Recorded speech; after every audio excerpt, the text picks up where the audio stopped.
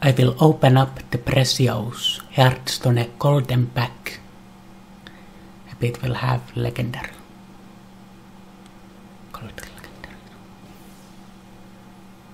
Got normal, normal, normal, rare, normal. What's the rare? Aldor Peacekeeper. It is very good against enemy minion that has hayat